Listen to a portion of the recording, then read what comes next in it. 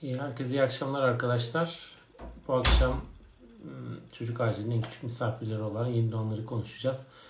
Kritik yeni doğan hastalarına yaklaşım, en sık görülen etiyolojiler, güncel tedavi ve yönetim planları ile ilgili bir birlikte hem vaka bazında hem de interaktif bir şekilde tartışacağız. Bugünkü konuğumuz Namık Kemal Üniversitesi Tekirdağ Tıp Fakültesinden uzman doktor Tören Aslan. Ulaş Hoca'yı da birazdan canlı yayın alacağım. Keyifli bir sunum bizleri bekliyor. Selam Caner. Herkese merhaba. Merhaba abi, hoş geldin. Merhaba, sağ ol Caner. Tören merhaba. Merhabalar. Bir yayın... Tören bağlanır bağlanmaz dönmeye başladı ama bende mi sorun acaba? Yok, sende değil abi. Ben geçen program çok koptum çünkü Caner. Umarım sıkıntı olmaz. Menti kodunu söylersen Caner ben oradan yazayım istersen. Bir Önünde şey alayım abi, söyleyeceğim. Ha tamam. Birazdan. Sen yaz istersen ya da www.menti.com Evet. 2851 28 51 77 21 Çok da fazla soru yok aslında ama. Doğru değil mi? 28 51 77 21. Aynen doğru. Tekrar daha alacağım ben. Tören hocamızı. Aynen. Tören selam, hoş geldin. Eh, merhabalar, merhabalar. Merhaba. Nasılsınız? Merhabalar. Merhaba merhaba. Hoş geldin Tören. Teşekkür ederiz tekrar. Eh, rica Bizim, ederim abi, ne demek? Daha önce de davet ettik. Kırmadın bizi. Şimdi de Estağfurullah abi. eee, bu kadar hani yoğun ve yeni yerinde diyelim. Teşekkür İşlerin ederim. arasında yine davet ettiğin şey davet ettik ve kabul ettiğin için çok teşekkür ediyoruz. Çok Rica- sağ ol. Bir de eee, şu hoşuma gitti. Bizim formatta hazırlamışsın. Yani bizim tam istediğimiz gibi daha doğrusu şöyle dinleyicilerimizin istediği gibi. Böyle trik noktaları eee, onlara söyleyecek. Böyle yormayacak. Aşırı detaya inmeyecek. Ama en böyle hot topics dediğimiz şeyler var ya onları seçmişsin koymuşsun. Eee, hem sahada çalışan biri olarak hem de hani e, akademik kimliğinin de çok önemli olduğunu biliyoruz. Onları da içine serpiştirerek çok güzel bir sunum hazırlamışsın. Ben Çok- gözden geçirdim. Arada sana takılacaklarım olacak. Muhtemelen dinleyiciler de takılacak. Eh, Kesinlikle. Ee, o yüzden teşekkür ediyorum şimdiden. Buyur. Ee, mikrofondan sen ne zaman dersen Caner Evet. e, ilerleyecek. Ee, Olur. Eh, buyur sen de. Yapalım isterseniz. Eh, ben de biraz geç bağlanabildim. Bir iki dakika eh, şey oldu. Eh, şöyle yapayım. Eh, tabii eh, öncelikle tüm katılımcılara iyi akşamlar diliyorum. Eh, bu pediatri konusunda tabii birçok verimli ve güzel webinarın düzenlenmesinde önce olan eh, gerçekten Ulaş hocamıza çok teşekkür ediyorum herkesin huzurunda. Tabii e, sizlerden gelen istekler doğrultusunda eğitim konuları belirlenmeye çalışıyor. Çok e, önemli bir arge olduğunu biliyorum. Yani bu pediatrik acil e, platformunda gerçekten çok büyük emek var. Bu haftaki konuda yoğun talep üzerine e, kritik yeni doğanlara yaklaşım olarak belirlendi. Aslında bakıldığında kritik yeni doğana yaklaşım, yeni doğan acilleri derya deniz bir chapter. Hatta tek başına bir Aynen. kitap olabilecek potansiyelde. O yüzden hani en az 2-3 seri belki de devamı gelebilecek bir konu başlığı diye düşünüyorum. E, tabii pediatri uzmanları, pediatri asistanları için hani bu webinarda özellikle ben doğum sonrası herhangi bir postnatal adaptasyon sorunu olmayıp da eve giden ama günler sonra tekrardan evden önemli sorunlarla hastaneye başvurabilecek kritik yeni doğanlardan bahsetmeye çalıştım. Sunum süresinde olabildiğince efektif kullanarak geniş bir perspektifte sizler için toparladım diye düşünüyorum. Şimdiden herkes için verimli bir sunum olmasını e, dileyerek sunuma başlıyorum. E, sunumun e, ön önce hedefini bir belirlemek lazım. Sunumun hedefine baktığımızda aslında katılımcılar bu sunum sonrasında ilk olarak kritik yeni doğana neden olabilecek sık etiyolojileri akılda bir çatı şeklinde oluşturabilecek. Sonrasında kritik bir yeni doğan ile karşılaşıldığında tanıya nasıl gidilebileceği ya da yeni doğanlardaki hangi klinik ipuçlarını veya laboratuvar bulgularının hayati öneme sahip olduğunu e, az çok kafamızda toparlayacağımızı e, umuyorum. Ve katılımcıların özellikle kritik yeni doğan etiyolojilerindeki önemli bir takım acil durumların tedavisinin nasıl olması gerektiği ve o kritik yeni doğanın da ne şekilde yönetilmesi gerektiği gibi e, önemli sorulara cevap verebiliyor hale geleceğiz diye e, düşünüyorum. Tabii e, yaşamın ilk 28 günü yani neonatal dönem aslında her türlü canlının için sadece insanoğlu değil aslında bakıldığında her türlü canlının hayatta kalması için yaşamındaki en savunmasız olduğu dönem. Tabi bu yüzden dünyadaki çocukluk çağındaki de en yüksek mortalite dönemi yeni doğan dönemi. Bakıldığında tabii tüm e, dünyada olduğu gibi ülkemizde de yeni doğanın acil durumları aslında nadir görülen problemler değil. Ve her pediatristin, her aile hekiminin, belki pratisyen bile e, karşılaşabileceği ana durumlar arasında önemini koruyor diyebilirim. Yine yeni doğanın kritik sorunları doğum sonrasında, yani doğum sırasında, doğum sonrası dönemde de bebek taburcu olduktan sonraki dönemlerde de günler haftalar içinde ortaya çıkabilir. Bu nedenlerden dolayı bakıldığında kritik yeni doğanlar klinisyenler için tanı ve tedavide önemli zorlukları gerçekten barındırıyor. O yüzden ciddi alınmaları çok hayati diye düşünüyorum. Tabii soruyla başlayalım istedim Ulaş abi siz de isterseniz. Hani Evet evet çok iyi olur. ya Dünya Sağlık Örgütü'ne göre neonatal mortalite oranı e, her yıl biliyorsunuz hani yılın sonunda ya da önümüzdeki yıl başlangıcında Dünya Sağlık Örgütü sitesinden resmi yayınlıyor ülke ülke bazında ve dünya istatistiği açısından. Neonatal mortalite oranı geçtiğimiz yıl dünyada her bin bebekte sizce kaçtır? Evet bunu şey şeklinde yazacaklar değil mi Caner? Ee, Evet evet. de, hem ülkeyi Tek- yazacaklar hem de Hem şeyi oranı. yazacaklar. Ee, oranı yazacaklar. Tören e, aynı anda ikisini yazabilirler değil mi? Hem ülkeyi hem şeyi. Ee, Ee, tabii oranı. bir soru var tabii olabilir. Olabilir ikisi de aynı anda Tamam. o yüzden aynı slayta koydum ve Tamam. dünyadaki harika. hangi ülkede en düşüktür? Yani neonatal mortalite oranı e, en düşüktür. Ben en düşük ülkeyi görünce çok şey yapmıştım. Ee, şöyle asistanken aslında çok farklı acayip şeyler değişti bu arada. Ben hani 2000'de başladım asistanlığa. O Evet. zamanki şeyi hatırlıyorum. Mesela yeni doğan mortalitesini ya da infant mortalitesini. Şu andaki şeyi haritayı ve oranları biliyorum mesela. Tabii. İnanılmaz bir değişim var. İnanılmaz bir değişim var. Evet Kesinlikle. İsveç gelmeye başladı aşağıdan ama arkadaşlar O- şeyden yazarsanız çok iyi olur. Hem Tören hocamız görür hem de tüm herkes görür.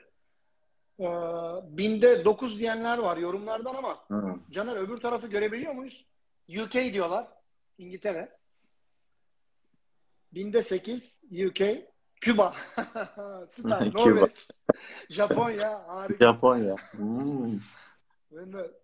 Evet, çok güzel. Amerika var. Şeyden yorumlar kısmında Amerika var. Binde 6, binde 1, binde 8.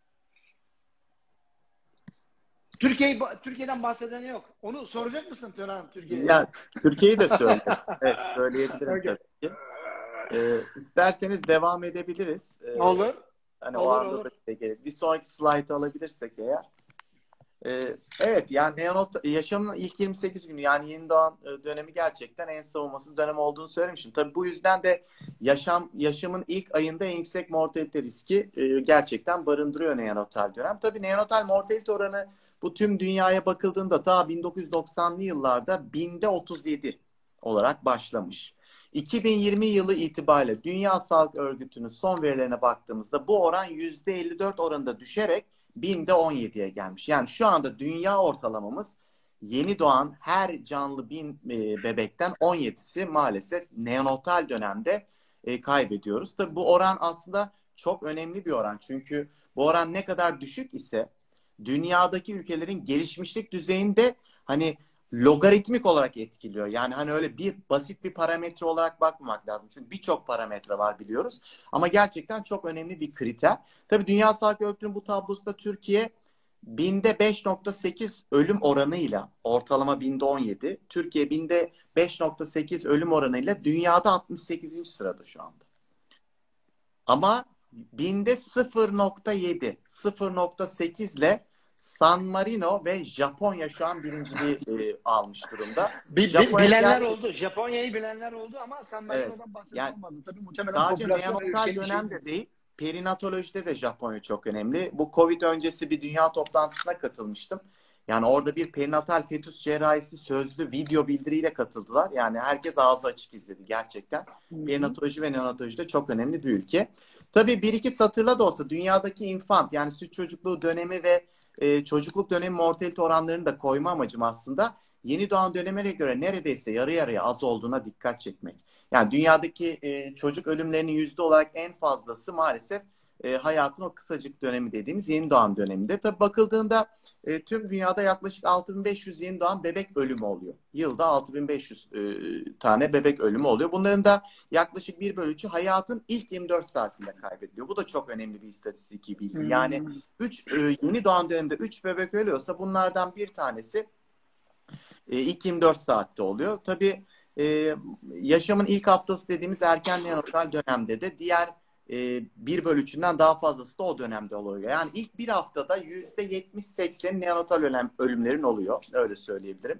2021 yılı dünya genelinde de bir yılda 2,5 milyon ölüm yaşamın ilk bir ayında yani neonatal dönemde mi, ö, ö, gelmiş. Ya bu perspektifte bakıldığında kritik yeni doğanları tanıyabilmek, erken tanı tedavileri veya multidisipliner e, gerçekten deneyimli ve uygun merkezlerde yapılabilmesi gerçekten çok önemli.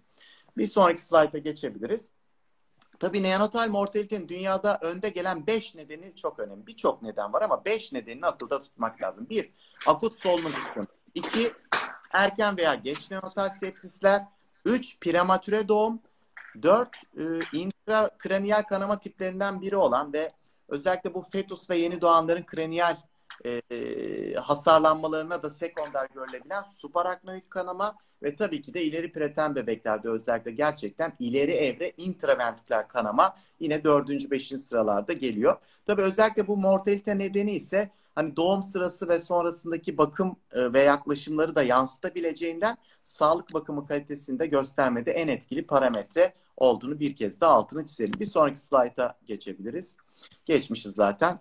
Ee, peki kritik yeni doğanların sık görülen acil problemleri en çok neler diye baktığımızda bunları solunumsal, kardiyak, nörolojik, endokrin, metabolik, hematolojik ve şok tablosu ile ilgili diğer nedenler olarak bir çatı altında toplayabiliriz. Yine kritik bir yeni doğan ile karşı karşıya kaldığımızda en önemli ilk adımlardan birisi ABCDE stabilizasyonu. Burada tabii ABCD'yi en fazla bir dakika sürecek şekilde değerlendirmek ve sonrasında hızlıca stabilizasyona yönlenmek gerçekten çok önemli. Tabi ABC dediğimiz bir akrostij yani İngilizce bir akrostij yani A dediğimizde işte airway hava yolu, B breathing solunum yani solunumdan kasıt burada solunum çabası, solunum hızı, sido veya hırıltı ya da oskültasyon bulguları hatta cilt rengi bile solunum parametrelerinin altında geçebiliyor. Yine dolaşım dediğimizde yani kalp hızı, nabız, kan basıncı, kapiller dolum, vücut ısısı değil mi? Bunlar da yine dolaşım kapsıyor. Yine bilinç durumu veya varsa kalınan bir çevresel faktörü de tabii öğrenmek bu açıdan e şıkkını da e, barındırıyor diyebiliriz. Tabii kritik yeni doğanların ikinci değerlendirmesindeki ana nokta ise daha temelenebilmek. Yani bu dediğimiz aslında çok akut bir şey ama ikinci değerlendirme dediğimiz sample değerlendirmesi aslında temele daha çok fokuslanmamızı gerektirecek ikinci önemli adım. Burada sorunu bulma odaklı. Yani e, gereksiz olmayacak ayrıntılara da girmeden iyi bir klinik değerlendirme ve bebeğin yakın izlemi takibinden geçiyor.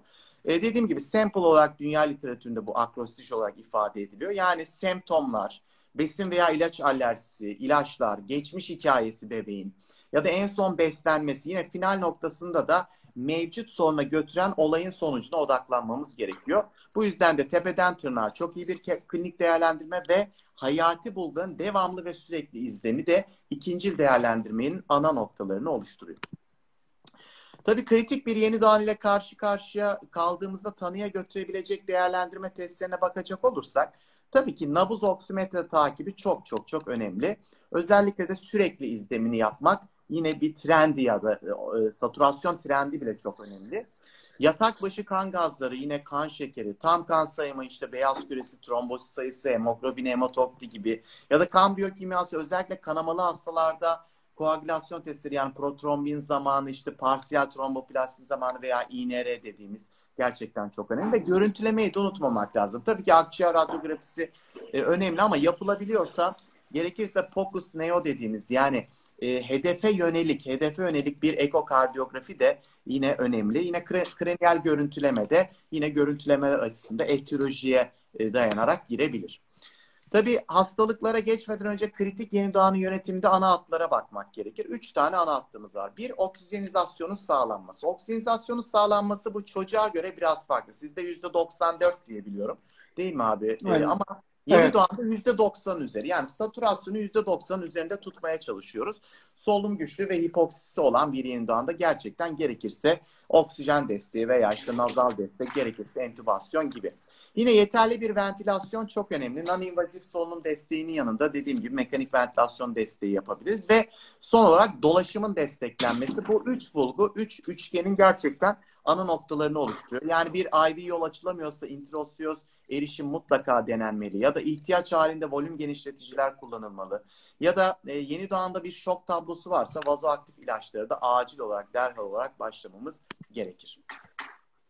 Tabii sık görülen yeni doğan acil durumları The Misfits akrostici. Ya ben biraz açıkçası akrostijlere yani böyle e, formüllere Yo, biz çok falan, seviyoruz. E, gerçekten şey yani e, kafamda öyle çalışıyor bir nevi. O yüzden de haz duyuyorum. Gerçekten de yurt dışında da bununla uğraşmışlar. Adamlar hmm. bulmuşlar. Bizim NRP'de bile var bu kısaltmalar yani. Önemli. Tabii The Misfits e, Türkçe uyumsuzlar diye çevirebiliriz. Yani The Misfits uyumsuzluk, uyumsuzlar. Hmm. Gerçekten de öyle. Kritik bir yeni doğanın etiyolojisine baktığımızda T, travma, hipoksi veya heart dediğimiz yani konjenital bir kalp hastalığı, E'si yine endokrin sorunlar, metabolik sorunlar, özellikle elektrolit dengesizlikleri, e, doğumsal metabolik hastalıklar, sepsis ya da işte beslenme, mama ile ilgili problemler. Bir slaytta da olsa ileride bahsedeceğim. Ya da gastrointestinal sistem sorunları, toksin alımları veya zehirlenmeler ve son olarak da nöbetler olarak özetlemekte fayda var gibi gözüküyor. Tabii e, travmadan başlayacak olursak kaza sonucu e, olan ya da olmayan kafa travmalarının aslında klinik bulguları çoğu zaman spesifik değil. Yani fontanelde şişlik belki dikkat çekici olabilir. Ya da herhangi bir şüpheli yaralanmada kraniyel görüntüleme o yüzden mutlaka yapmamız gerekiyor. Bu arada bıraktığı için bizi ya da saatler günler sonra da semptomlar başlayabileceği için. Kraniyel görüntüleme yeni doğanın gerçekten klinik durumuna veya çalıştığınız hastanın imkanına göre e, direkt kafa grafisi, transfontanel ultrason, MR, MR'a kadar hatta çok istemiyoruz ama bazı acil durumlarda tomografi de yine tabii işin içine girebiliyor. Buradaki en önemli nokta aslında hastanın ilk stabilizasyonu travmada. Ee, özellikle laboratuvar testlerini çok geniş bir şekilde hemogram koagülasyon almamız gerekiyor herhangi bir kanama olasılığına karşı. Yine stabilizasyondan hemen sonra e, uygun bir kraniyal görüntüleme. Yani o hasta için ultrasonsa ultrason, işte MR'se MR gibi gerçekten bir kraniyal görüntüleme yapmamız gerekiyor. Özellikle göz dibi değerlendirmesi yapabiliyorsak yine retinal hemorojiler açısından çok önemli. Çünkü özellikle subdural hemoroji, retinal hemoroji, diffüz aksonal hasar gibi ikili üçlü kombinasyonda böyle gerçekten e, birbiriyle ya da insidental çok e, oluşmayacak bir genelde travma sonucu oluşabilecek bir e, üç bulguyu görüyorsak burada istismara bağlı kafa travması yani bebek sendrom yani sarsılmış bebek sendromunu mutlaka düşünmemiz lazım. Burada literatürden aldığım 18. günde letarji tablosuyla 18 günken ten bir yeni doğanın kafa grafisi var. Oklar bilmiyorum çok gözüküyor mu ama Orada çok net şekilde subdural kanamaları gözüküyor. Ve bu bebeğin de yandaki de retinal hemorojilerinin olması. Yani subdural hematoma artı retinal hemoroji gerçekten kendi kendine olabilecek bir patoloji değil. Mutlaka bu konuda fiziksel istismar düşünmek lazım ve gerekli birimlere de bildirimin yapılması lazım. Tedavinin dışı olarak söylüyorum. Ve bir travma olduğu için de mutlaka bir epigram yani iskelet e, grafilerinin de ya da kemik sörveyinin de araştırılması, gözden kaçırılmaması çok önemli. Tabii Diğer slayta geçebiliriz.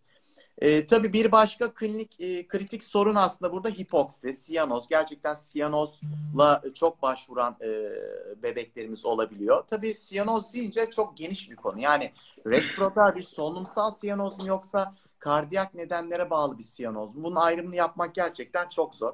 Özellikle siyantik kalp hastalıkları denilince terrible T'leri unutmamak lazım. Ve hipoplastik sol kalp tabii T'ye uymadığı için onu ayrı söylüyorum. Ya bu korkunç beşliği T'yi hatırlayacaksak fallot tetrisi, triküspit atresi, büyük arterlerin transpozisyonu, yine total anormal pulmoner venöz dönüş anomalisi ve trunkus arteriosu unutmamak gerekiyor.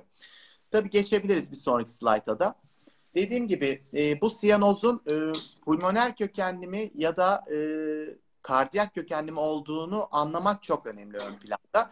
Tabii ki söyleyeceklerim yüzde yüz şey yapmasa da ikisinin, üçünün, dördün birlikte olması sensitiviteyi arttırıyor. Yani pulmoner mi, e, kardiyak kökenli mi olup olmadığını. Bakıldığında aslında kardiyak kökenli siyanozda klinik olarak bebek dinlenirken genelde rahattır. Dinlenirken rahattır. Ancak pulmoner kökenli siyanozda bebek dinlenirken bile solunum sıkıntısı e, bulguları çoğu zaman mevcuttur. Yine ağlamakla kötüleşen bir siyanoz e, aile tarifleyebilir. Bu genelde genelde kardiyak kökenliği bize düşündürmesi lazım. Yine dinlemekle bir üfürümün olması her zaman şart değil tabii ama hiperdinamik bir kalbi hissetmeniz bu da genelde gerçekten kardiyak kökenli olduğunu söylüyor. Ya da desatüre ya da e, siyanotik bir bebeğe %100 oksijen verdiniz. Ya, ki biz buna hiperoksi testi de diyoruz. %100 oksijen vermemizde rağmen pulmoner kökenli siyanazlarda genelde bir düzelme görüyoruz. Ama kardiyak kökenlilerde genelde. Ve kardiyak kökenli siyanozlarda EKG'de genelde anormallikler dikkati çeker. Kan gazları genelde pulmoner kökenli siyanozlarda hiperkarbi çok ön planda olacaktır. Yine bakıldığında özellikle siyanotik kalp hastalığı düşünülen kardiyak kökenli bir siyanozda ilk basamak acil tedavi olarak ductus arteriosus'u açık tutar, tutacak şekilde prostaglandin E, E1 infüzyonunu gerçekten düşünmek gerekiyor. Yine bu bebeklerde kalp damar cerrahisi olan ünitelere de mutlaka e, ivedilikle sevkini yapmak gerekiyor. E, evet başka bir sorumuza geldik Ulaş abicim isterseniz. Siyanotik kalp hastalıkları dedik. Evet yani bu siyanozda başlayabilir ama her zaman siyanotik kalp hastalığı da ilişkili olmuyor siyanotik bebekler e, hani siyonetik cilt rengi görülen bir bebekte başka neleri düşünebiliriz diye sorsak hani e, evet. nasıl cevaplar gelir bilmiyorum. E, şimdi biz cevapları beklerken birkaç tane e, paramedikal, daha doğrusu paramedikal değil, e, e, şu konuşmayla ilgili değil, senin diğer doktora yaptığını zannediyorum, branşla ilgili sorular soruyor. Arkadaşlarımız e, mezenkimal kök hücre ile ilgili bazı sorular geliyor. Ama e, onlara şimdi cevap vermeyelim istersen. Sanırım gitti. Ben mi gittim Caner? Tören mı? Yok. E, sen duruyorsun abi ya Tören hocamız gitti. Okay. Birazdan tekrar alacağım. Bu süreçte soruya cevaplar Cevap, geliyor zaten. Cevaplar geliyor değil mi? Okay. Aynen. Ben de geçen programda 2-3 kez düştüm herhalde değil mi canım? Ben nedense hiç düşmüyorum. Çok enteresan. Çok pardon. Geldin mi acaba şu anda? Evet evet geldin. Evet, evet. Yani ama duydum. Dondu ama sesleri duyabildim abi açıkçası. Ee, yani konumuz üzerinden zaten gidiyoruz dediğiniz gibi. Aynen. Aynen. Ee, evet e, üşüme demişler herhalde. Ben de e, buradan evet. görmeye çalışıyorum bir yandan. Konvizyon, Konvizyon ağlama. Bru, üşüme, metemoglobinemi, hipotermi. Harika yüksek çıkmış da daha fazla evet. söylenmiş gibi gözüküyor. Ama evet. söylenenlerin hepsi doğru. Yani bir tane neden yok tabii ki. Ama ben burada burada da gerçekten herkesin de dikkat çektiği bir nokta. Methemoglobinemiye ben de dikkat çekmek istiyorum. Aslında siyanotik cilt rengiyle başvuran bir Evet devam edebiliriz. Aslında siyanotik cilt rengiyle başvuran bir bebekte lokal anestezik e, madde içeren bazı jeller olabiliyor. Ağız içi jeller. Ya da yeni doğan sünneti biliyorsunuz bu dönemde çok popüler. Sünnet öncesi yapılan bir pirlokain gibi bir lokal anestezik maddeye bağlı olarak da edinsel bir methemoglobin tablosu da olabiliyor gerçekten. Ben de şu ana kadar toplamda 10'a yakın bebekte net bir şekilde yani bu yeni doğan olmuş, Bizim çocuk olmuştu. Hmm. Toplamda 10'a yakın methemoglobinemi gördüm aktif olarak. Peki nasıl bir tablo methemoglobinemi? Ee, bir geri gelelim lütfen. Burada aslında methemoglobinемinin patofizyolojisi şu. Oksidatif stresle, e, stresle e, hemoglobin e, içindeki demir artı iki yüklüdür normalde. Bu bazı oksidatif streslerle mesela ilaçlar da bunu yapabilir. E, bu demir artı iki demir artı üçe dönüşüyor. Yani hemoglobin içindeki. Peki dönüşsün ne olur? Ama demir artı iki şöyle bir demir. Oksijeni alıyor, taşıyor, dokulara veriyor. Ama demir artı üç oksijeni alıyor, afinitesi çok yüksek hiçbir şekilde dokuya vermiyor. Ama kanda parsiyel oksijenin çok yüksek ama dokulara sunmuyor. Çünkü kendi tutuyor. İşte böyle bir hastalık metemoglobinemi. Yani çocukta saturasyon düşük olmasına rağmen parsiyel oksijenin normal veya hatta yüksek olması durumuna biz metemoglobinemi diyoruz. Aslında birçok e, film ve çizgi film karakterindeki kişiler konjenital metemoglobinemi hastalarından esinlen esinlenilmiştir. Mesela sol üstte gördüğümüz Şirinler çizgi filmi. Mesela Şirinlerin senaristinin en yakın arkadaşı Sol alttaki fotoğraftaki Paul Carson olduğunu söylesem size. Şirinlerin senaristin en yakın arkadaşı Paul Carson. Paul Carson kim? Şirin Baba. Yani Paul Carson aslında konjenital methemoglobinemiyle yaşayan şu anda dünyadaki en yaşlı kişilerden biri. Ve Şirinlerin senaristin en yakın arkadaşı e, sürekli bakıyor bakıyor bakıyor ona ya diyor ki ben en sonunda bir bununla ilgili bir şey yapıyorum. Şirin Baba'ya da Paul Carson'u koyuyor. Olayı bitiriyor. Yine bakıldığında aslında sağ üstte gördüğümüz Avatar filmi hepimiz izlemişizdir. Yani evet. Avatar'daki kabile de aslında bir konjenital methemoglobinemi'li bir kabile aslında. Yaşayabiliyor ama mosmor mesela değil mi? Hani bu, bu tabloyu oluştur, oluşturabilecek tek şey methemoglobinemi. Yine mesela sağ alt köşede Mavi Fugat ailesi. 1800'lü yıllarda hmm. kabile bunlar mesela. Gerçekten e, ailesel de olabiliyor mu bu kadar e, konjenital methemoglobini? Nadir de olsa evet olabiliyor. Geçebiliriz. Tabii kliniğe baktığımızda methemoglobinin kandaki konsantrasyonuna göre değişkenlik gösteriyor. Yani methemoglobinemi kandaki konsantrasyonu mesela yüz, normalde yüzde bir falandır. Yani yüzde on beşi geçtiğinde siyanoz oluyor. Yüzde otuzu geçtiğinde taşikardi, emme, bulantı, kusma, solunum sıkıntısı gibi bulgular gelişebiliyor. Yine yüzde elli beşin üzerine çıktığında artık letarji, stupor gibi nörolojik etkilenme oluyor. Ve yüzde yetmişin üzerinde de genelde literatürde de mortal olduğu yazıyor. Yani %70'in üzerine çıktığında evet, bu Orhan, bir şey sorayım mı ben Geri döndürmek çok zor. Tabii senin buyurun. Gö- senin gördüğün en yüksek değer neydi? Ee, ben Valla benim gördüğüm e, şey, en %48 gördüm ama. Evet ben de e, 37 gördüm açıkçası. Okay. E, yeni doğan döneminden öyle çok 40-50'leri görmüyoruz. 37 Hı-hı. gördüm ama sonuçta 37 de ciddi solunum sıkıntısı çok yaptı bebekte. E, gerçekten 48 de yine çok e, yüksek bir değer abi gerçekten haklısınız. Yine tabii her zaman ilk önce tabii yeni doğanın stabilizasyonu yani böyle bir hasta geldi A, B, C, D, E'yi mutlaka yapmak lazım. Ama yüksek verişimli sıvı ile birlikte genelde yüksek e, glikoz perfüzyon hızıyla bunu göndermek lazım. 1 miligram kilogramdan %1 metilen mavisi yine IV verilmesi. Yanıt alınamıyorsa 60 dakika sonra tekrarlanabilir. Ya da düzelme olmazsa metilen mavisi ya da bulama, bulamayabilirsiniz. Yani o anda elinizin altında olmayabilir. Yine yüksek doz C vitamini 300 mg e, dozdan da IV bir şekilde yine verilebilir. Geçebiliriz. Tabii siyanozu konuştuktan sonra özellikle asiyonetik kalp hastalıkları da çoğu zaman konjektif kalp yetmezliğiyle yine yeni doğanın böyle ikinci, üçüncü, dördüncü haftalarına doğru gelebiliyor. Özellikle siyonetik kalp hastalıklarına göre Asiyontik kalp hastalıklarında daha kademeli bir klinik dekompensasyon süreci var. Yani öyle hani bir günde mesela kollaps çok görmüyoruz. Dediğim gibi haftaları bulabiliyor. Ve özellikle de klinik geç neonatal dönemde dediğim gibi ortaya çıkıyor. Ee, evet. Yeni doğanda kalp yetmezliği nedenlerine baktığımızda aslında asiyontik kalp hastalıklarında özellikle geniş çaplı VSD'ler, yine konjenital gerçekten PDA'lar, anatomik PDA'lar, Yine aort koaktasyonunu e, ön planda düşünmemiz lazım. ASD e, ki 3-4 yıl önceki pediatri yan dal sorularından da biri neonatal dönemde kalp yetmezliğine yol açmaz. Hmm. Yani bu direkt sorulmuştu.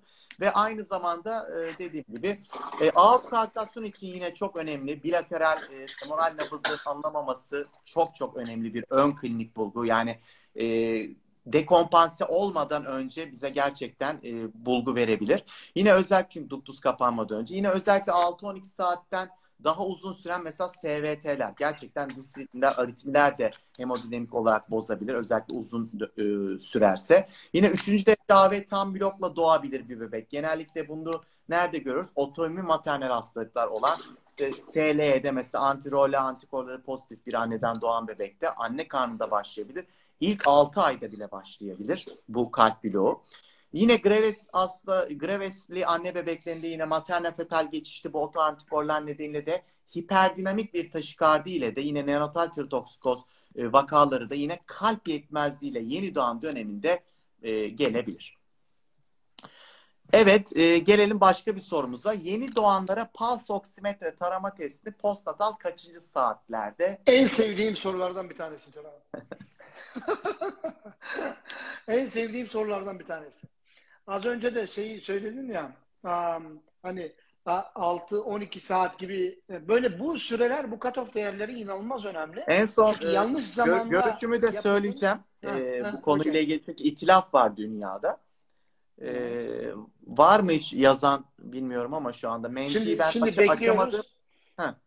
Ee, 24 48 48'de odaklanmış. Aşağıdan 24 geliyor. Şey hem komentlerden geliyor hem de şeyden geliyor. 24. Menti'de 24. 24.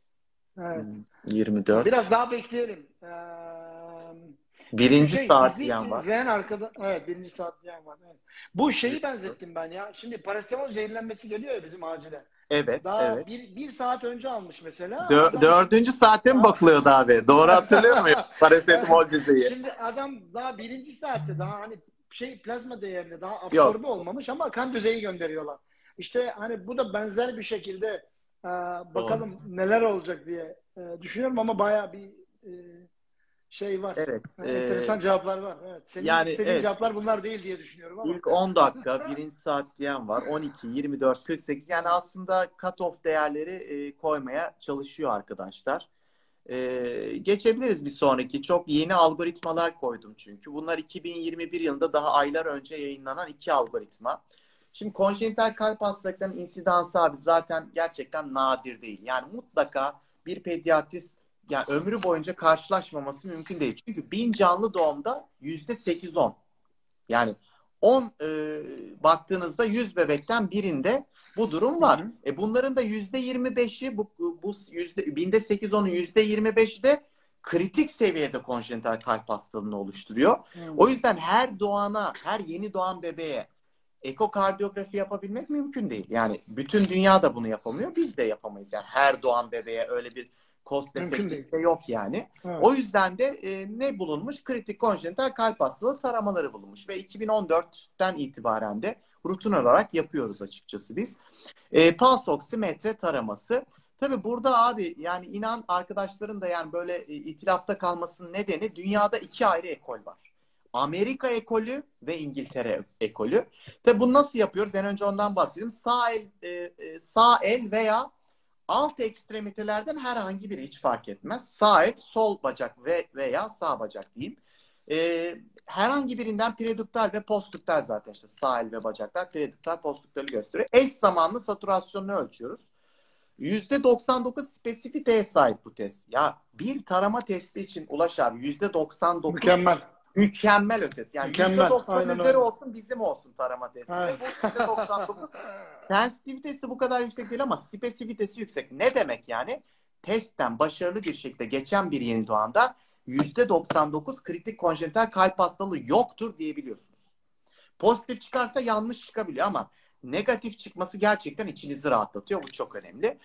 Aynı zamanda yanlış pozitiflik oranı da düşük yani o kadar da yüksek değil. Şimdi soldaki algoritma Amerikan Pediatri Akademisi'nin geçtiğimiz yıldaki revize edilen hali. Ee, burada tarama testi yeni doğanda en az 24 saat olduğunda yapalım diyor. Ya da bebek 24 saatten önce taburcu edilecekse taburcu olmadan hemen önce. Atıyorum 18. saatinde mi taburcu oldu? Gerçi olmaması lazım hiçbir bebeği, bebeğin ilk 24 saatte ama bazen gerçekten erken taburculuklar olabiliyor. E, taburcu olmadan hemen e, bir dakika öncesinde yapın gibi gerçekten o kadar e, rigid bir cut-off e, değer söylüyor. Ama sağdaki algoritma ise İngiltere e, algoritması. Bu da 2021'in son aylarında revize oldu. Bu da diyor ki tarama hayatın çok daha erken bir döneminde başlaması lazım. Postnatal 4. 12 saatleri arasında başlaması lazım diyor. Ee, Amerikan Pediatri Akademisi'nin önerisine göre bu prediktal veya postdiktal e, iki ölçümde saturasyonlar %95'in altında ise bir kere e, saturasyon ölçümü yani %95'in altında ise testten kalıyor.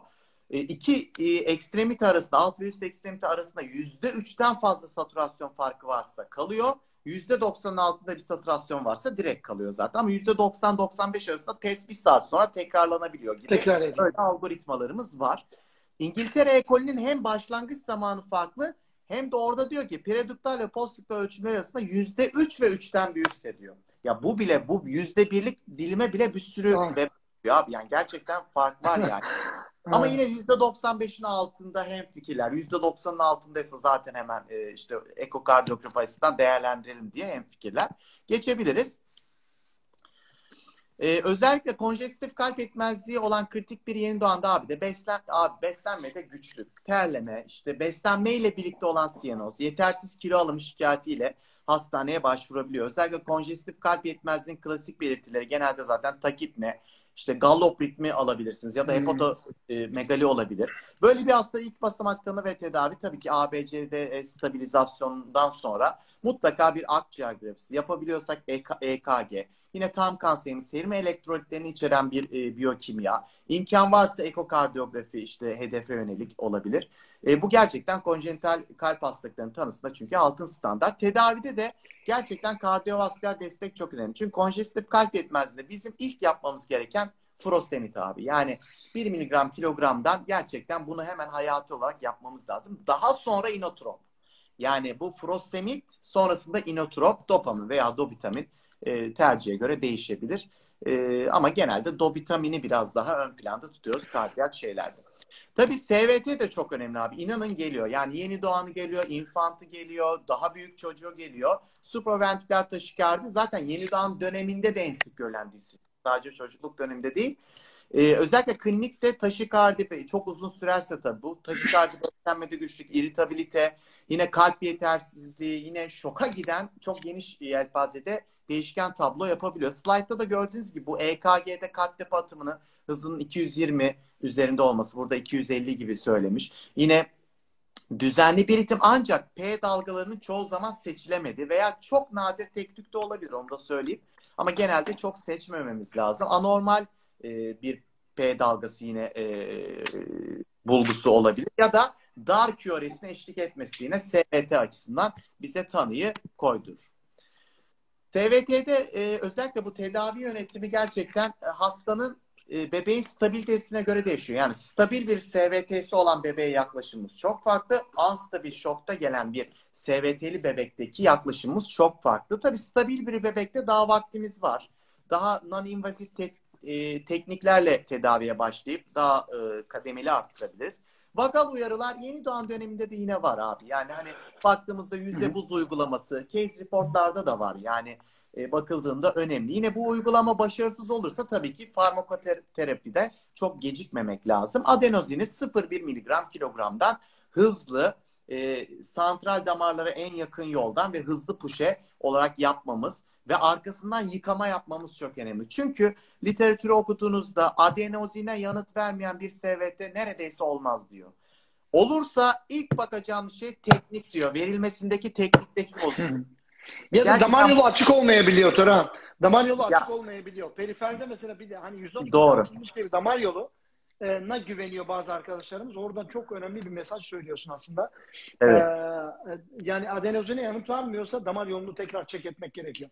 Kesinlikle öyle. Yani çünkü hani onu doğru teknikle verdikten sonra hani onu durdurmaması neredeyse çok ütopik gözüküyor. Tabii ki yanıtsız olduğu e, ritimler var tabii ama Var. özellikle de unstabilse yine o da karşımıza gelebilir. Daha korkutucu, endişe verici olabilir. Eğer IV, IV yol açılamadıysa e, ya da bebek şokta geldiyse hemen sen- senkronize kardiyoversiyon yapmaktan çekinmeyeceğiz. Hayatına e, çünkü unstabil bir bebek. Yani yapacağınız başka bir şey yok. 0.5 işte 1-2 jül arası yine geçebiliyor. Hani başlangıç 0.5 diyebiliriz. IV yol açılabilmişse adenozin de elimizde mevcutsa kardiyo versiyondan önce unstabilse bebek adenozin yine deneyebiliriz. Yani o Ben çok de onu sana bir bulgu. soracaktım. Yani Ee, o yüzden adenozini büyüt, Burada- büyütmek istiyorum efendim. Tabii. Bu burada tam da onu söyleyecektim. Bizim pals algoritmalarında da öyle geçiyor. Eskiden perfüzyonu bozuk taşı SVT ile perfüzyonu bozuk olmayan SVT diye iki ayrı algoritma vardı.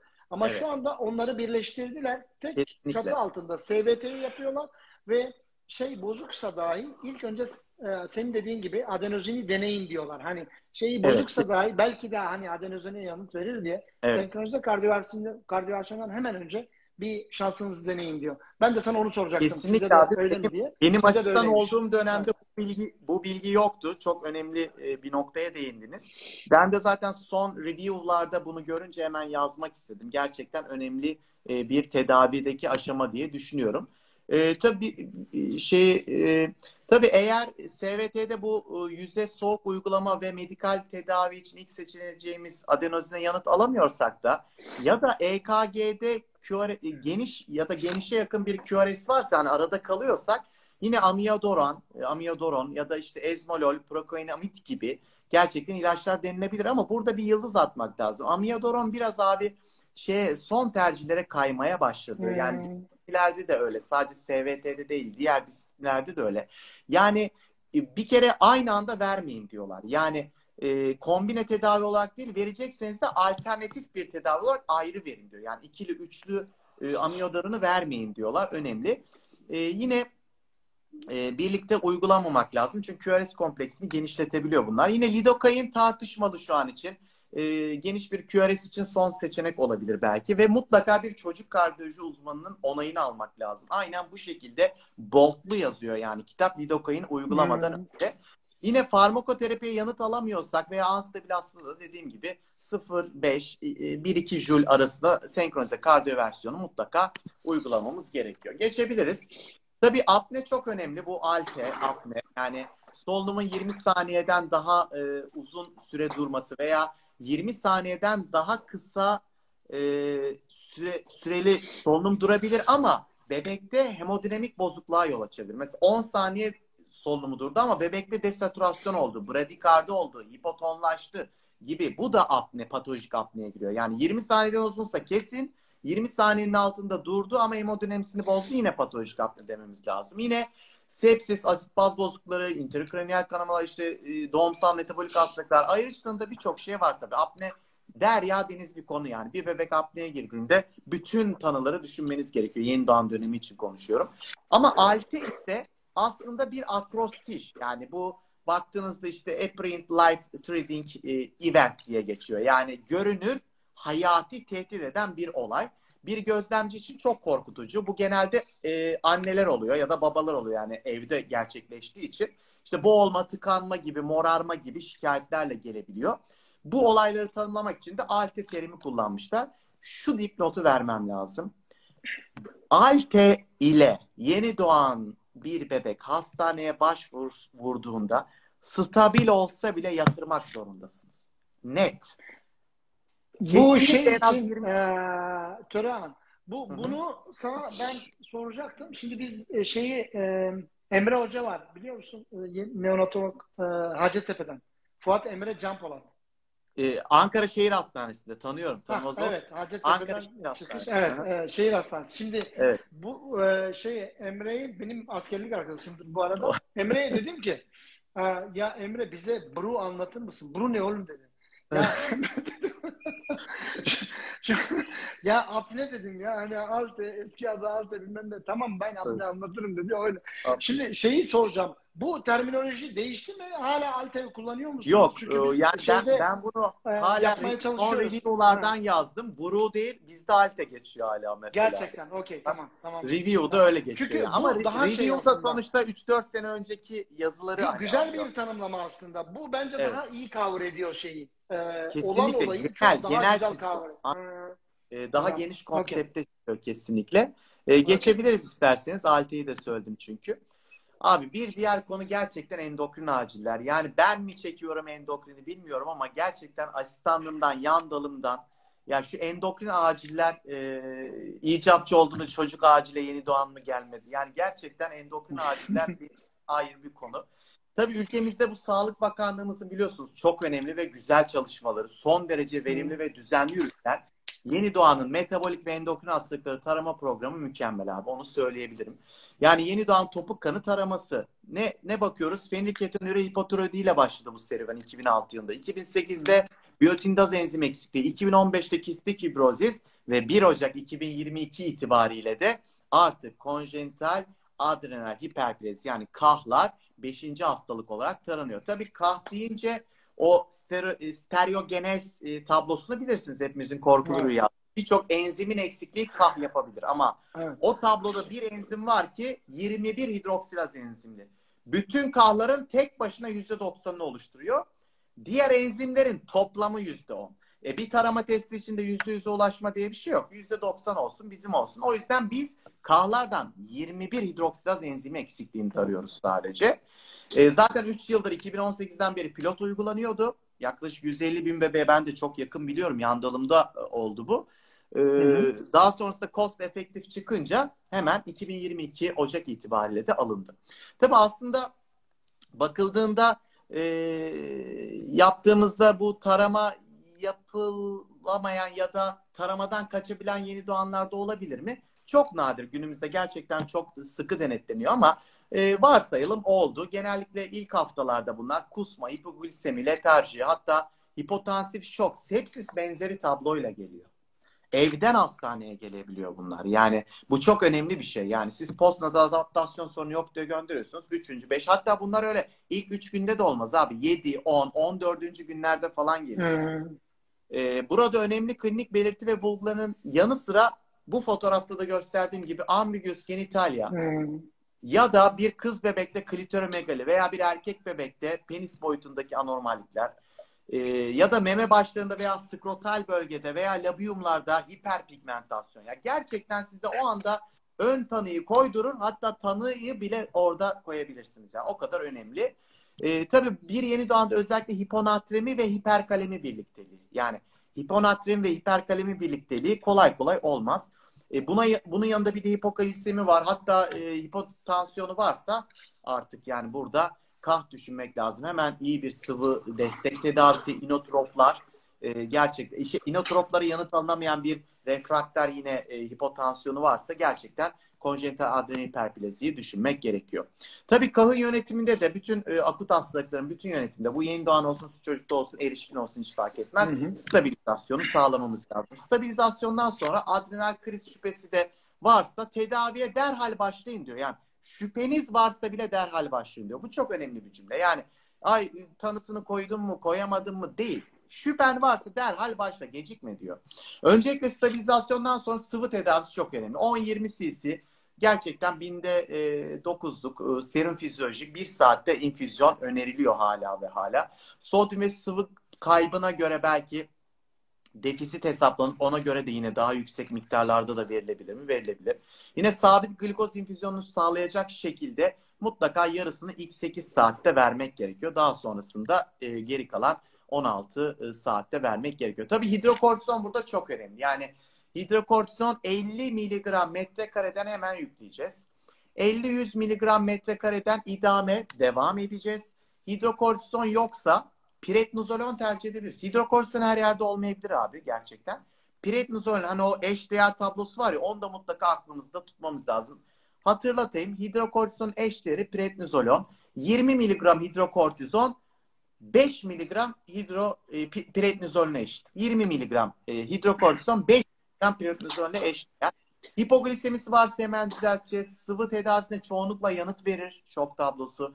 Hiperkalemi bunlarda korkutucu düzeylere çıkar ama başka bir böbrek yetmezliğindeki hiperkalemi gibi aslında aritmileri daha tolere edebiliyor. Bu da çok e, ilginç. Yani 9,5 potasyum gerçek ama aritmi olmayabiliyor. Tabii ki olabilir ama biraz daha dirençli gibi. Yani baktığımızda elektrolit bozukluklarındaki aritmilere en dirençli tablolardan biri K. Ama olabiliyor çok da görebiliyoruz. O yüzden EKG'de varsa mutlaka kalsiyum klorür, sodyum bikarbonat gibi ya da e, glikoz, e, insülin glikoz tamponize mai gerçekten hiperkalemi tedavisinde verebiliriz. Hatta bazen kayak serata kadar iş gidebilir mi? Gidebilir.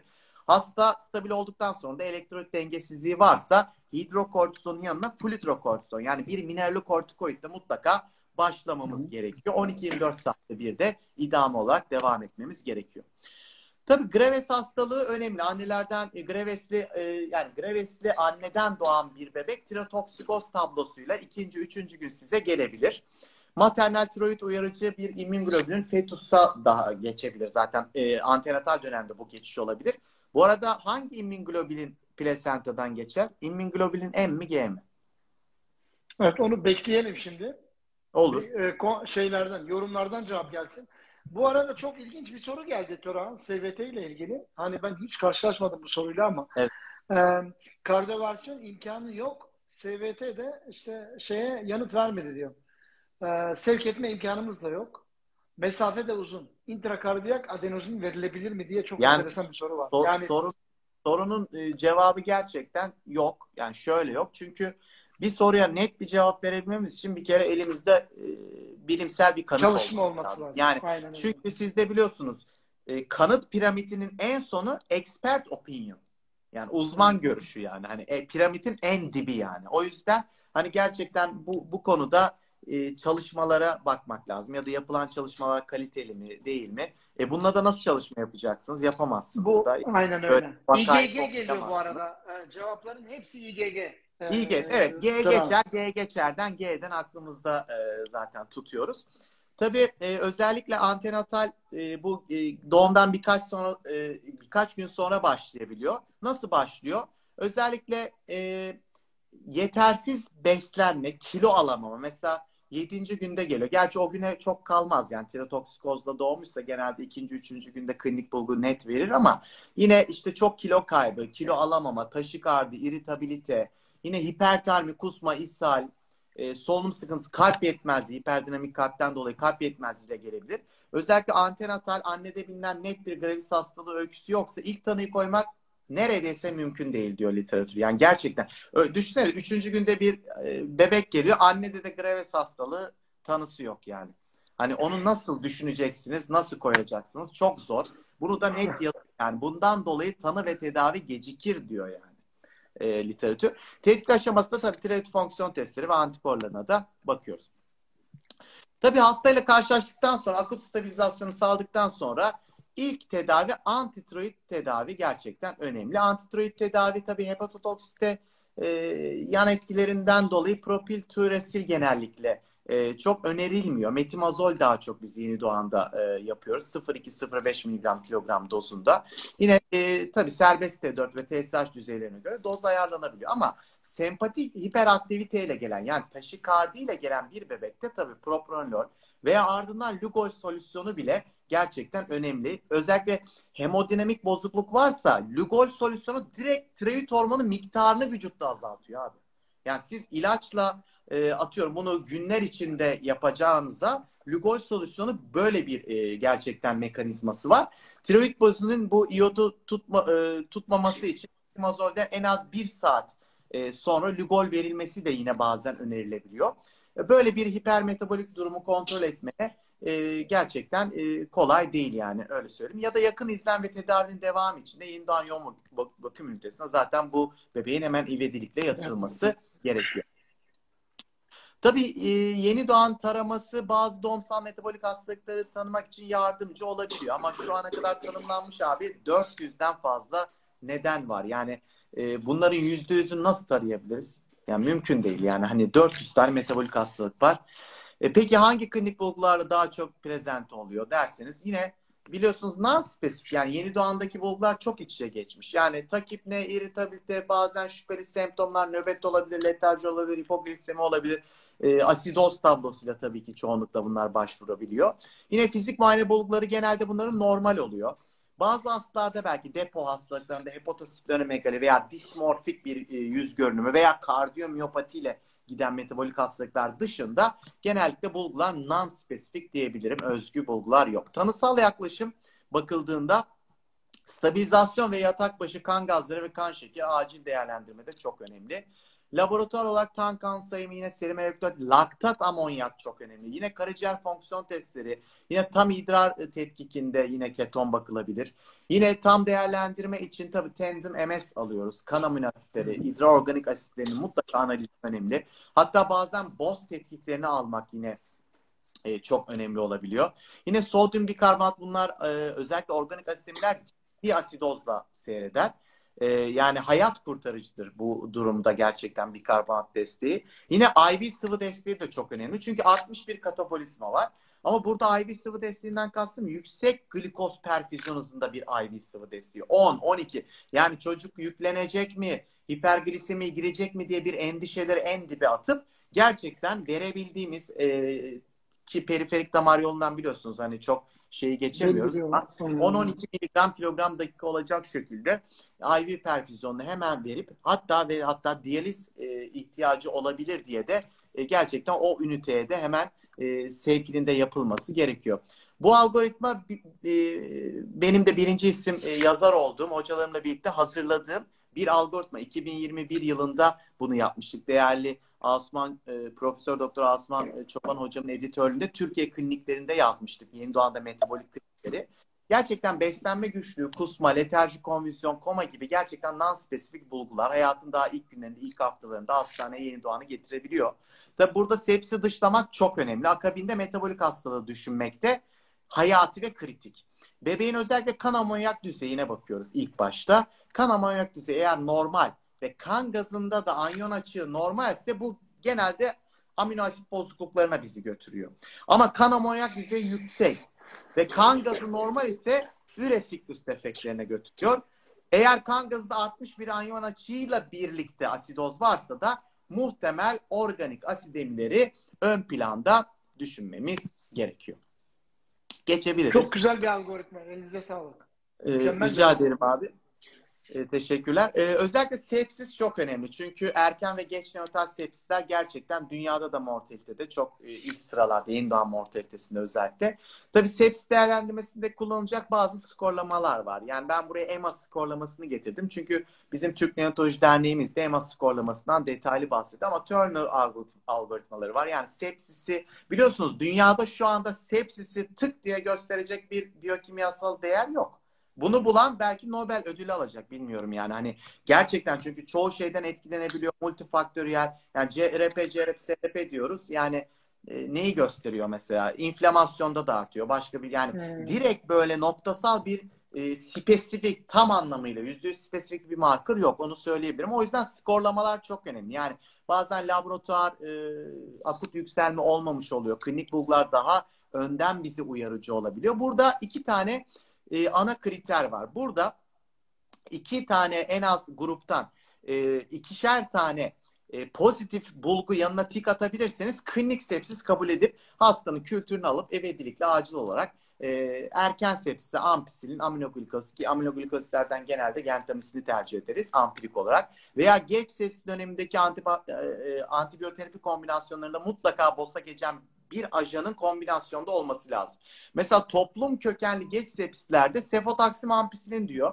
Hastane kaynaklı geç yeni doğan sepsisinde ünitelerin özellikleri dikkate alınmalıdır diyor. E, amikasin olabilir diyor. Ya da gram negatif sepsis düşünüyorsan bir fulminen gidiş varsa, çok hızlı bir kökleşme varsa vankomisin sefotaksim gibi kombinasyon önerileri de var açıkçası. Orada tam bir mütabakat yok ama erken sepsiste ampirik antibiyotik tedavisi ampisin, gentamisin onda e, şeyimiz yok. Tabii mama ile ilgili sorunlara baktığımızda özellikle anne sütü dışında bu sıvı ve toz mamalarıyla beslenen bebeklerde gerçekten bazen mamaların uygun olmayan şekilde e, bir e, sulandırılma biçimiyle çok aşırı dilüye mamalarla beslenen çocuklar olabilir. Yani 3 gün 5 gün bunu beslediğinizde yaşamı tehdit eden elektrolit bozukluklarına e, varan işte kilo alamama ama daha önemlisi bizim için yaşamı tehdit eden elektrolit bozukluklarına özellikle de hiponatremi abi. Hiponatremiye bağlı ciddi nöbetlerle gelebiliyor ve nöbeti durdurmak için de öyle fenobarbitalle şunu bununla durduramıyorsunuz. Yani altta yatan metabolik e, sorunu yani hiponatremi düzeltmeden gerçekten nöbeti durmuyor. Evet geçebiliriz. Hipertrofik da yeni doğan deyince abi 3. haftadan da olsa e, çok rahatlıkla girer. İnsidansı çünkü çok yüksek. 250 ile 1000 canlı doğumda bir diyor. Yani mükemmel bir insan. 150 hmm. yani bir buçuk milyona yakın bir bebek doğduğunu düşünürseniz ülkemizde gerçekten çok fazla vaka var. Genelde erkek bebeklerde sık görülüyor. Makrolit özellikle eritromisinin anne gebeliğinde kullanmış olabilir. Bebek doğduktan sonra yeni doğan döneminde kullanılmış olabilir. Ki bu da 2020 Aralık yandal pediatri sınav sorusudur. Eritromisinin hipertrofik pilorstenozuna yol açtı. Hmm. Hatta hatta emziren annelerin emzirme döneminde sütten bebeğe geçip bebekte hipertrofik pilorstenozu olan vakalar var. Gerçekten eritromisini bir aklımızda tutalım. Yandal sorusu da oldu, soruldu zaten. Şimdi genellikle yaşamın ikinci, üçüncü haftasından sonra klinik oluşuyor. Neden?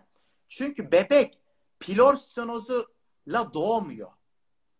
Pilor stenozu kademeli olarak artıyor. Yani bu çok önemli bir şey. Yani e, işte o tam tıkanıklık oluştuğunda bu genelde ortalaması mean değeri ikinci, üçüncü hafta demişler postnatal dönemde. Burada çocuk neyle geliyor bize?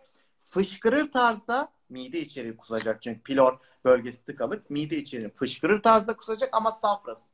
Neden safrasız? Safralı ve safrasız kusma abi ampulla vateri çizgisinin üstünde bir tıkanıklık mı, altında bir tıkanıklık mı olup olmamasına göre değişir. Ampul lavatenin üstünde bir tıkanıklık varsa, gis tıkanıklığı varsa bu safrasız kusmayla gider. Ampul lavatenin altındaki bir tıkanıklık varsa bu e, safralı kusmayla gider. Tabii bu bebeklerde genelde bunun dışında hikayede işte kilo alamama, mekoem çıkışında azalma, uzamış sarılık olabiliyor bu bebeklerde. Niye? İktorapilorik sendrom. Yani batı muayenesinde yine oliv zeytin belirtisi o hipertrofiye olmuş e, piloru palpe edebilirsiniz. Yine midenin peristaltik dalgalarıyla dans işareti. Ben bunun e, soru olarak da gelebileceğini düşünüyorum. Yani çünkü pilor stenozu e, yani pilor tıkalı olduğu için mide içerini e, duodenuma vermek için mide eğilip bükülüyor. Buna midenin dansı diyorlar. Midenin dansı hareketi hangi hastalıkta olur falan diye böyle bir e, absürt bir soru gelirse onu Çok söyleyeyim yani. E, hipertrofi düşünelim. Tabii bu burada bebek mide içeriği kustuğu için abi mide içeriği kustuğu için midedeki olan elektrotleri kaybeden bir kan gazı tablosu olması lazım. Mide içerini kusarsan H kaybedersin, hidrojen kaybedersin, asit kaybedersin, metabolik alkoloz olursun. Mide içerisinde potasyum kaybedersin, hiperpotasemik olursun. Mide içerisindeki kloru kaybedersin kustuğun için hipokloremik olursun. Yani hipokalemik, hipokloremik bir metabolik alkoloz çok önemli bir e, kan gazı tablosu. Tanıyı da %95'in üzerinde bir grafi falan değil, bir kontrast madde değil. Hı Ultrasonla çok net bir şekilde demonstre edebiliyoruz artık. Tedavide acil sıvı ve elektrolit hatta asit baz dengesinin düzeltilmesi çok önemli. Küratif tedavi pilora miyotomi diyor. Buraya da fotoğrafını koydum. Piloru longitudinal kesiyorlar. Daha sonrasında gevşetip tekrar dikiyorlar. Bu şekilde e, açabiliyorlar. Ama bazı cerrahi yapılamayan vakalarda da atropinin gevşetici etkisiyle de yüzde otuzun üzerinde yanıt alınan vakalar olduğu yazıyor mesela. İlginç yani atropinle de bunu tedavi e, eden e, şeylerde e, şeylerde var gerçekten yazılarda var.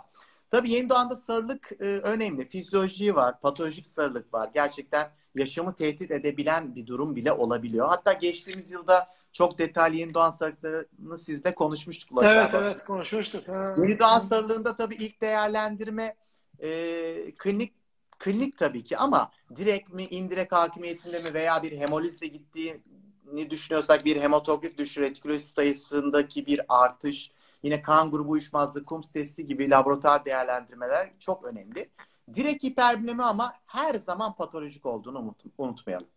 Ki direkt e, hiperbilemi de yeni doğanda artık 1 miligram desilitrenin üstü, üstüdür. Bunun da altına çizmekte fayda var. Çünkü direkt hiperbilemide gerçekten biliyer atresini yani otal hepatit galaktozemi gibi gerçekten organik bir hastalığı aramanız lazım. Yani çok net söylüyorum.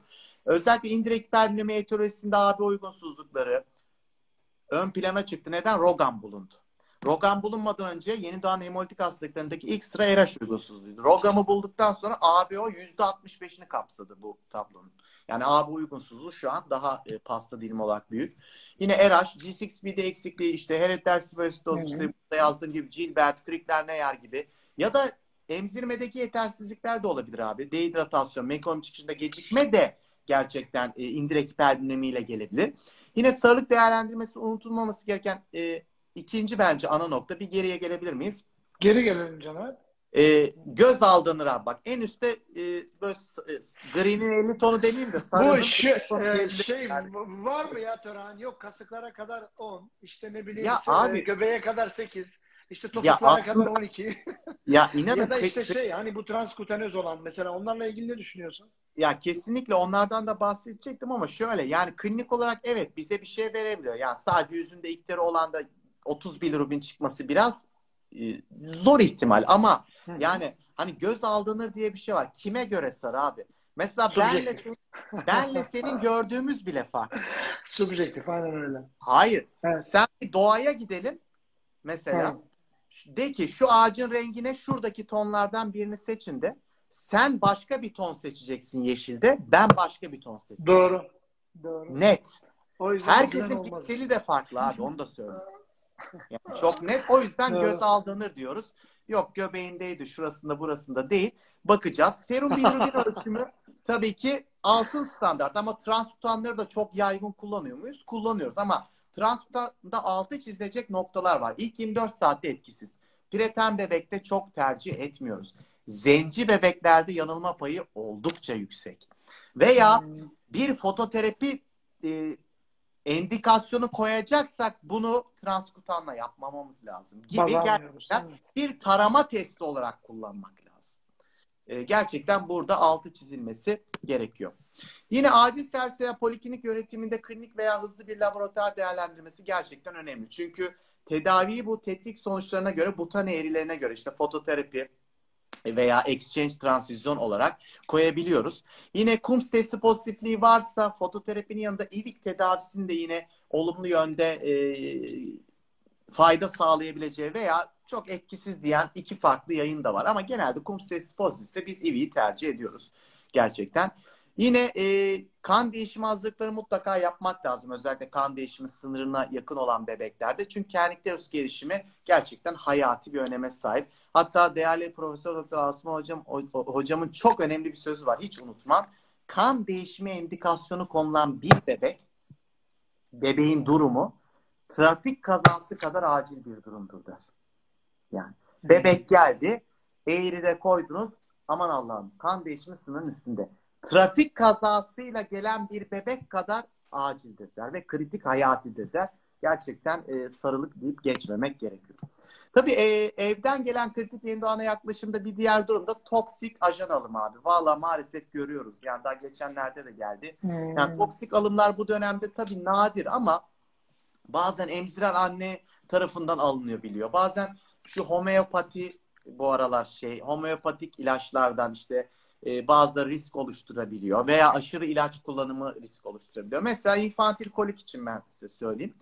Şu bitkisel çaylar abi. Yani kaç tane hastayı hani döndürmeye çalışıyorum. Yani bitkisel çayda bitkisel çay tamam hani ama ya bunların abi şeyi yok ya. Bitkisel datası yok. Hangi dozda vereceğim? Kaç gün vereceğim? Yani öyle bir çalışma yok ki. Yani bunu Ha. nasıl önerebiliriz? Hele hele bir de yıldız anason çayı. Aman Allah'ım Evet. yani yıldız anason O- çayı literatürde çok da pahalı abi. Kilosu bilmem kaç lira yani. Hani Böyle ucuz bir şey de değil bunlar yani. Hani ama hiç gerçekten bilimsel kanıtı yok. Hiç bunlara bulaşmamak lazım. Çünkü ağır nörotoksik bulgularla gerçekten Hmm. yaşamı tehdit eden yeni doğan vakalar literatürde yüzlerce, binlerce var yazdığınızda. O yüzden her zaman söylediğimiz gibi iyi bir anamnez çok önemli. Yani bebek letarjide geliyor. Belki de bu yıldız anason çayını içmiş. Ne bileyim yani. Hani gerçekten Hmm. anamnez hani hep hocalarımız da derdi ya işte anamnez Hmm. bireyi diye gerçekten Yüz, önemli. evet tanıyı koydurur. Ya kesinlikle ya da diş çıkarma jelleri abi. Tabii yani yeni doğan döneminde değil ama daha büyük işte böyle 5. 6. ayına gelmiş infantlarda ayına. benzokain içeren gerçekten e, şeyler olabiliyor lokal anestezik. Bunlar da methemoglobinemiyle yine gelebiliyorlar. Devam Ulaş edelim. abi burada burada Hah. şu elma yağı ile ilgili bizim de iki tane vakamız var. Aa Onunla evet bir şey kamfor, kamfor içeriyor değil mi o Caner? Evet. Bizim de Bu infantil e, kolik için kullanılan. e, Evet. Ama şöyleydi sanırım Caner o. Yani masaj yapılmak üzere verilen bir şeyi oral vermişlerdi. Yanlış mı hatırlıyorum? Biri biri oral vermişti, biri de karnına sürmüştü çocuğun. Oo. Ee, Sistemi biri solunum Oo. biri nöbetle geldi, biri solunum yetmezliğiyle geldi Tabii. işte. Aynen öyle. Bir statusla geldi zannediyorum. Doğru doğru aşırı ekstasyon tablosuyla geldi. Bizim de dediğin gibi Tören böyle infantil kolik tablosu için kullanılan bu tam da senin söylediğin değişik değişik tuhaf tuhaf ne olduğu belirsiz Tabii. şeyleri kullandıktan sonra e, Caner'in de e, uyarısıyla hakikaten şey biz hatta yayınladık onu. Sen, Evet. de zaten söylüyorsun ya bu şekilde case reportlar var diye. Var var var abi. Var gerçekten. Özellikle bu Yıldız Anason çayını görünce yazdım yani. Bilimsel yani. Şey Benim bir görüşüm değil o yani. Ee, şimdi bir soruyla gelelim. Çünkü nöbetleri en sona sakladım. Ee, son 7 slaytımız ama hani birçok önemli şeye değineceğiz. Yeni doğanda görülmeyen nöbet tipi hangisidir? Şimdi nöb bir sürü Evet. çeşit nöbet var. Miyokloniği var, ne bileyim fokali var, şeyi var, jeneralizesi Ben, var. ha, ha, aslında çoğu zaman vizitte de soruyorum ben bu soruyu. Güzel bir soru. O yüzden çok beğendim ben. Ben tabii yeni doğanda değil. e, Ben infantta diyorum değil mi canım? İnfantta soruyorum zannediyorum. Hani mesela Evet. çocuk şey 3-5 aylıkken geliyor böyle. Evet herkes aşağıda JTK diye yazmış. e, Evet yani zaten ko- kolay bir soruydu. Ben sadece hani evet. giriş şey yaptım. Ee, gerçekten jenerize tonik klonik nöbetler görülmez. Neden? Neden kolay? Çünkü yeni doğanlarda kortikal gelişim yok. kortikal gelişimi immatür olan birinde JTK nöbet olmaz. Dolayısıyla he, bu arada dünya genelindeki en sık nöbet tipine JTK nöbet Hmm. ama yeni doğan nöbet e, yeni doğan döneminde olmuyor. Aslında en sık nöbet tipi yeni doğan dışında JTK nöbetlerdir bakıldığında.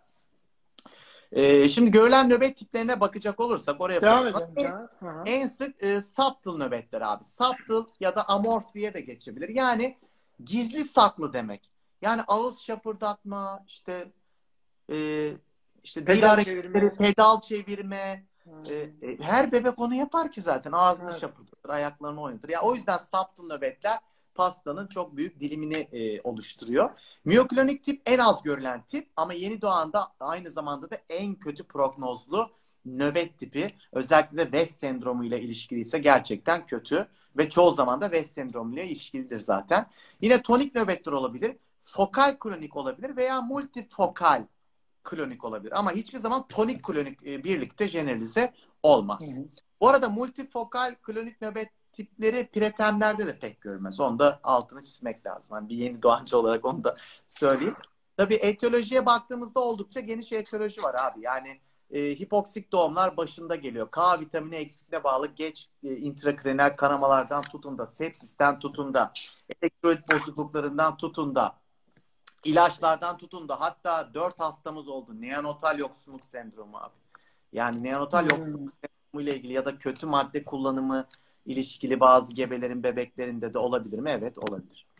Yönetim önemli. Her zaman en başta olması gereken tabii ki bebeğin stabilizasyonundan sonra yatak başı yine kan gazları, kan şekeri çok önemli ve tabii ki de geniş tetikler. Özellikle işte altta yatan bir metabolik sorun varsa onu düzeltmeden istediğin antiepileptiği ver. Yanıt alamıyorsun. O yüzden elektrolitler, tam kan semi akut faz reaktanları, kültür, karaciğer fonksiyon testleri işte amonyak gibi metabolik taramalar gerçekten ucu çok geniş tetkiklere dayanabiliyor nöbetli bir yeni doğan gördüğümüzde. Altta yatan metabolik bir sorun varsa antikonvizandan önce mutlaka bu metabolik e, e, düzeltmeyi yapmak zorundayız. Mesela hipoglisemi 3 tane zaten önemli elektrolit bozukluğu var e, yeni doğan döneminde. Hipoglisemi e, 47 mg desilerin altı Türkiye'de hipoglisemi. Bu e, Avrupa'da 50 mg desilerin altı. Amerika'da ilk 4 saat için 40, işte 4-24 saat için 45 mg desilerin altı. Hipoglisemi sınırı da belli. Yani belli değil demeyeyim ki orada da çok ufak olsun 3-5 miligram desilitre ama farklılık var mı? Var. Bizim yani ülkemizde de 47 miligram desilitrenin altı deyince hipoglisemi diyeceğiz. Tabii e, semptomatik bir hasta, nöbet geçirmiş hipoglisemik bir hasta 2-4 cc genelde 2'den başlıyor. 2 cc kilogramdan %10 dextrozu hemen vermemiz gerekiyor. E, hiponatremi önemli. 125 miligram des, e, 120, 125 mili ekvivalen litrenin altına düştüğünde gerçekten nöbet riski çok artıyor. 120'nin altında zaten statusa varan nöbetler görüyoruz genellikle. Bunu da yine Burada bir şey sorabilir miyim? Tabii. Burada sana sat- satışacağım çünkü. Tabii. söylemiştim hatta uyarmıştım. Şimdi e, bizim e, hipertonik salini kullandığımız indikasyonlar çok sınırlı pediatrik acilci olarak. Evet. Bir travmatik beyin hasarlanmasında antiödem özellikle hani shift yapan ya da işte hani bir e, şekilde Kibas. e, antiödem tedaviyle evet kibas olan tablolarda e, kullandığımız doz 2 ila 6 cc kilogram. Evet. Ee, başka bir şekilde işte ciddi hiper hi- ciddi hiponatremi nedeniyle kullandığımız mesela ağır nöbet geçiriyor da hiponatrik ansefalopatili çocuklarda da kullandığımız doz 3 ila 5 cc kilogram. Evet. Şimdi burada 3 kiloluk bir çocuktan bahsediyorum. Sen yeni doğumcusun. Evet. 3 Evet. kiloluk bir çocuğa 5-10 cc deyince diyelim ki ben süper fizyolojik doz kullanmayı seven bir e, hekimim. Onu da söyleyeyim. Mesela parasetamolü 15'ten kullanırım. İşte e, e, potasyumu binde 60'tan kullanırım. Hı. İşte ne bileyim yani ben sürekli sü- böyle suprafizyolojik dozları Anladım. seviyorum ben. Ben istemiyorum işte yok fenitoin önce 15'ten ver sonra bir ondan daha ver bilmem öyle bir şey yok. Hı. Devatres'ten 20'den yükle yok abi öyle bir şey. 60'tan yükle direkt. Var olacaksa o pozoloji etkisini göstersin. Ben de diyorum ki ben suprafizyolojik bir e, hekim olarak 10 cc kilogramdan 3 kiloluk bir çocuğa verirsem 30 cc yapar bu. 30 cc izde 3 için ne düşünüyorsun?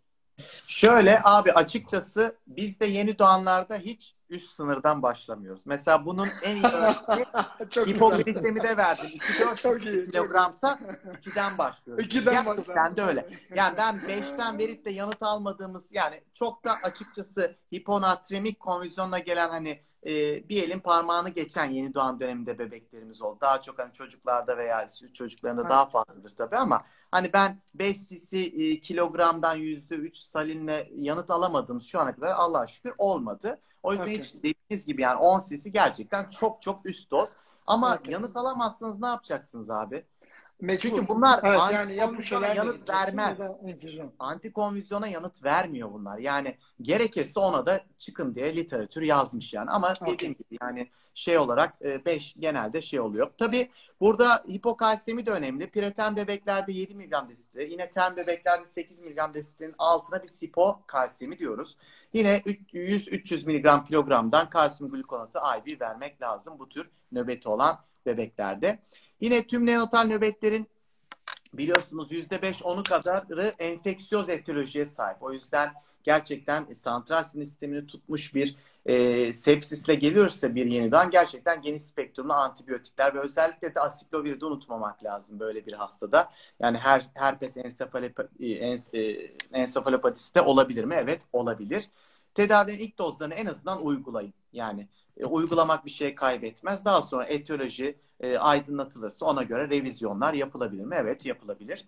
Stabilize ettikten sonra da nöro görüntüleme çok önemli. Yani nöro, nöbetle gelen bir bebeğin kafasının içine bakmamız lazım. Yani bu çok önemli. Bu da genelde zaten yeni doğan yattığı için orada e, yapılır.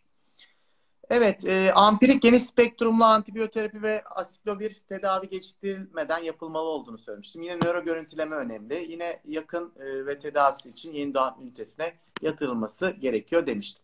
Şimdi konvizyonlar için birinci basamak farmakolojik tedavi önemli. Benzodiazepinler abi. Bizde de benzodiazepin. Yani baktığımız Ama lorazepam yok herhalde değil mi? Yok, Evet, Amerika'daysanız lorazepam, okey, birazdan okey. söyleyeceğim. Ee, lorazepam ülkemizde yok. O yüzden ilk tercihimiz benzodiazepinlerden diazepam veya bir. Ancak yeni doğan döneminde yan etki profillerini de düşünürsek midazolam birinci sıraya oturuyor. Hmm. Yani diazepam mı midazolam mı diye sorarsınız yeni doğan döneminde ben size midazolam derim. Ee,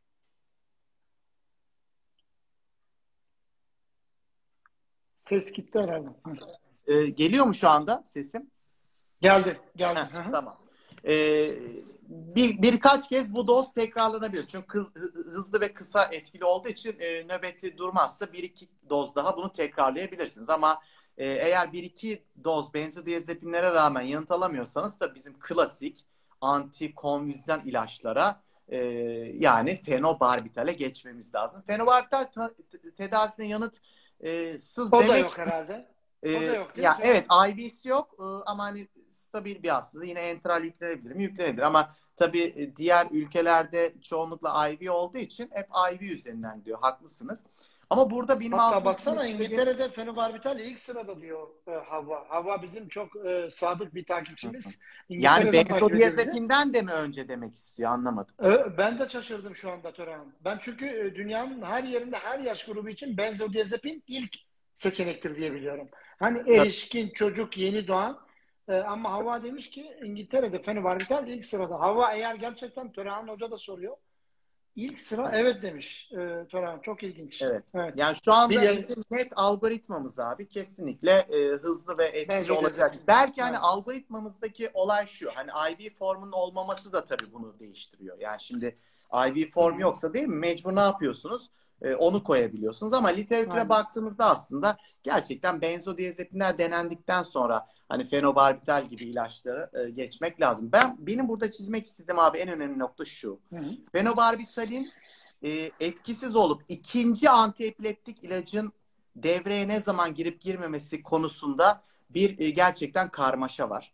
Fenobarbital tedavisine yanıtsız dememiz için abi 40 miligram kilograma kadar dozu çıkmamıza rağmen nöbeti devam ediyorsa ikinci antiepileptik ajan seçin diyorlar.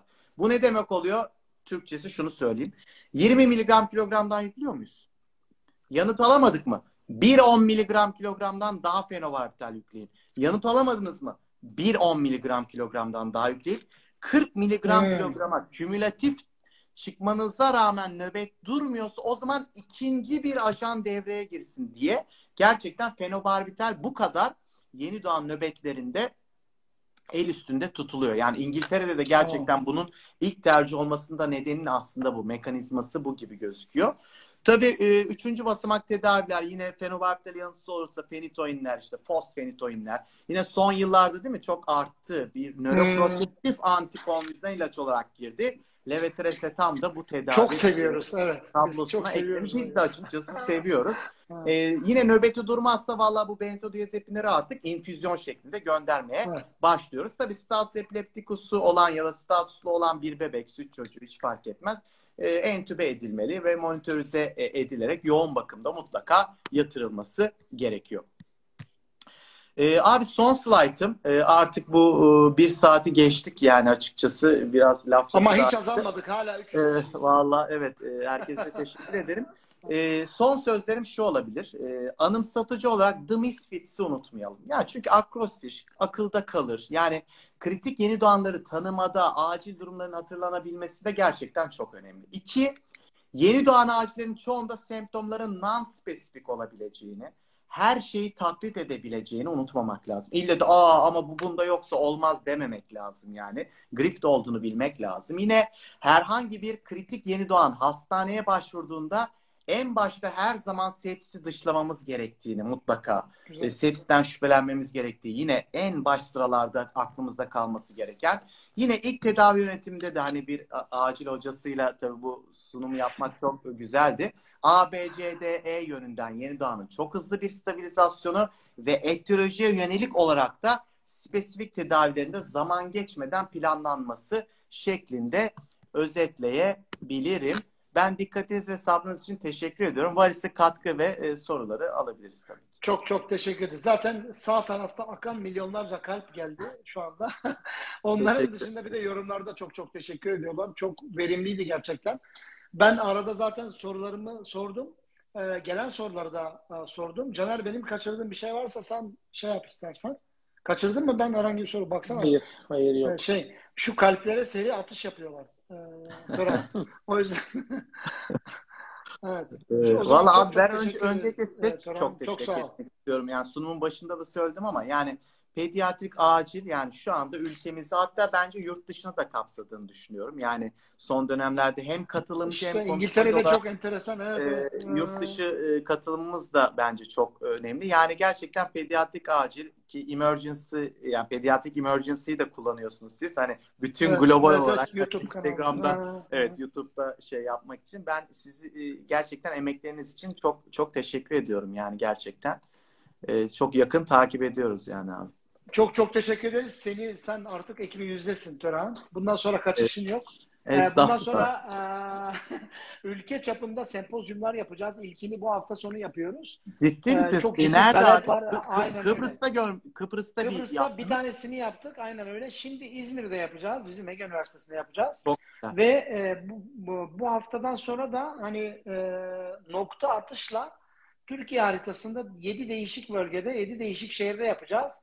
E, Abi Trakya'ya bekleriz. Trakya En fazla e, izlenenler arasında olduğun için e, seni de e, takıma dahil edeceğiz. Muhtemelen e, eğer çok sevinirim. bize çok teşekkür ederiz. Çok sevinirim abi. Her zaman e, görev vermeniz yeterlidir gerçekten. E, biz de anlatmak için gerçekten çok e, hevesliyiz, şeyiz gerçekten. Yani bilgi paylaştıkça güzel, güzel abi. Siz bunu zaten insanlardansınız. Yani bilgi saklamak diye bir şey yok. Yani gerçekten e, çok önemli. Yani bilgi paylaştıkça çoğalır yani. Gerçekten öyle. Aynen öyle. Çok çok teşekkür ediyoruz. Sağ ol, var ol. Ee, ben teşekkür ederim. Çok teşekkür e, ederiz. Görmekten gerçekten çok Rica mutlu olduk. Caner. Ve bundan sonra da zaten projelerimizde olacak. İnşallah abi. Çok çok her teşekkür zaman, ediyoruz. Her zaman. Çok Görüşmek ol. üzere Ulaş abi. Herkese iyi akşamlar. Herkese İyi akşamlar. Görüşürüz. İzmir'e gelecekler için de şimdiden bekliyoruz. Görüşmek üzere.